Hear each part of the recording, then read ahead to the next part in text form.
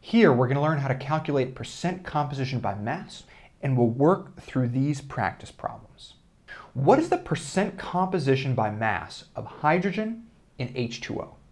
To start solving this, let's take a look at the formula that tells us how to calculate percent composition by mass. And just so you know, sometimes percent composition by mass is referred to only as percent by mass. They're the same thing. Okay, so here's our equation, and it's got a big fraction. The fraction's got a top and a bottom. So on the top of the fraction, we have the total molar mass of just the element. In this case, hydrogen is the element, and I'm going to talk more about the top of the fraction in a minute. On the bottom of the fraction, we have the molar mass of the whole compound. In this case, the compound is water, H2O. Okay? We're going to do some division. We're going to divide the top by the bottom, and then we're going to take that and multiply it by 100%. Okay, so to start solving for this, we are going to want to get a number for the top, and we're going to get want to get a number for the bottom here. Let's start on the bottom, okay? Let's start by calculating the molar mass of H2O, of water. Now, you may already know how to calculate molar mass. If you need a refresher, I got a video on that. But just real quick, what we're going to do is we're going to look at the chemical formula here for H2O, which tells us that there are two hydrogens and one oxygen. Okay, so then we will look up hydrogen and oxygen on the periodic table. Okay, this number here, 1.01, tells us the molar mass of hydrogen, and we got two of them. So we do 2 times this number, and then we add it to 1, because we have one oxygen, 1 times the molar mass of oxygen. We do the addition and we get 18.02, the molar mass of H2O, which is how much one mole of H2O would weigh. Okay, so that's the bottom here of the fraction. Now let's talk about let's talk about the top here. Okay, what do I mean when I say the total molar mass of just the element? Okay, well when we calculated the molar mass of H2O, we added together the molar masses of hydrogen and of oxygen. We combined both of these. But I want to find out the total molar mass of just the hydrogen, not both of these things added together. All right? So if we look at the equation here, I mean, sorry, if, if we look at the formula here, we see that we have two hydrogens, okay? Each one weighs this much, so we do 2 times 1.01 to get the total molar mass of just the hydrogen, okay? This is the total molar mass of the hydrogen on its own, and this is the total molar mass of everything, the hydrogen added to the oxygen.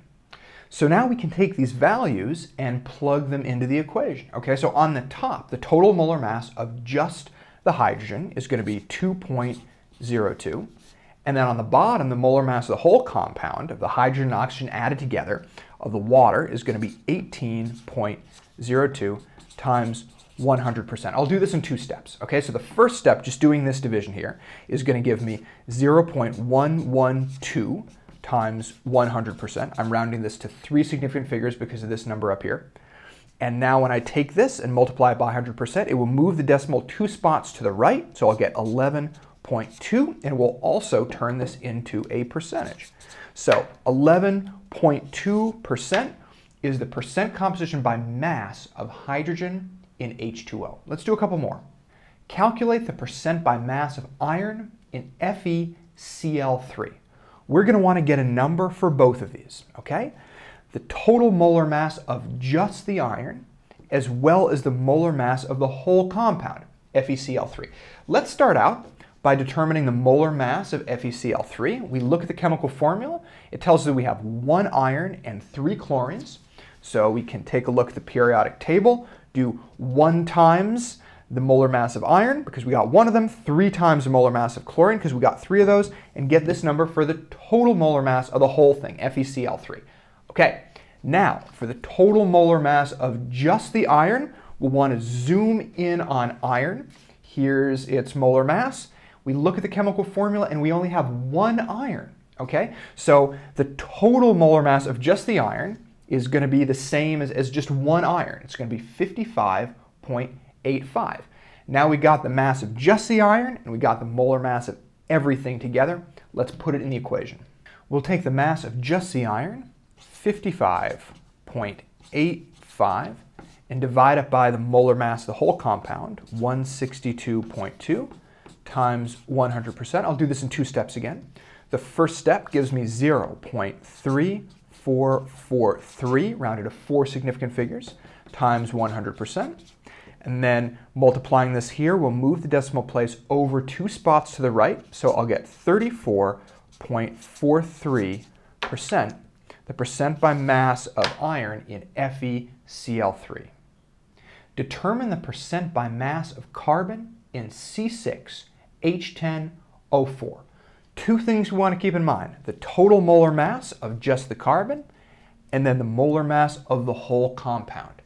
We'll start with the molar mass of the whole compound, which contains six carbons, 10 hydrogens, and four oxygens. So we will add their molar masses together, six carbons, 10 hydrogens, and four oxygens, and get 146.2, the molar mass of all of them added together.